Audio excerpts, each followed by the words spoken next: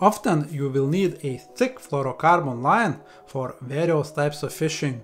It can be used for pike traces, carp rigs, leaders or something else really.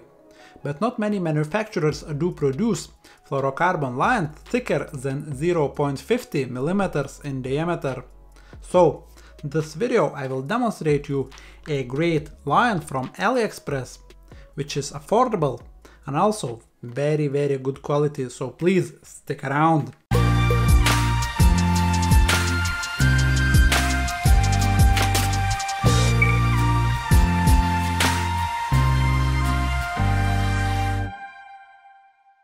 As you can see, the brand is called Mavllos. It says that material from Japan, whether it's true or not, I don't know, and I don't care really. All I care is about that it would be a real fluorocarbon, so I performed some tests for you and for myself as well. So I tried to burn it, so it burns okay, or it does not burn, it just melts.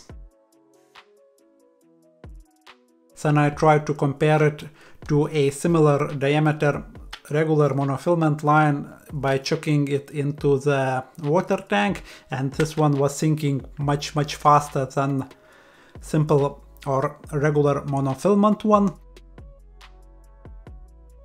And also this line is like very very wiry, it's like it's I have here 0.60 millimeters in diameter and it's it's proper wire.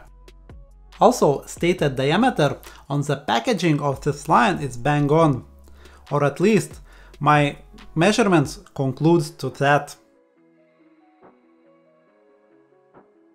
The packaging in my opinion is very very good. The spool comes in a hard plastic like a case and it helps to stop like very stiff line from unwinding itself so you can just kind of keep the line on the or in the case all the time and there is a little slot and then you can just take as much of this material as you need. So yeah, packaging is really, really top notch. As for the prices for this line, they are as follows.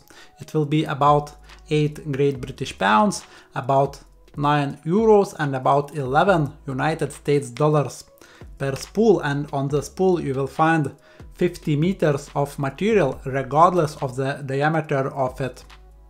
And those prices are as of 2020 October.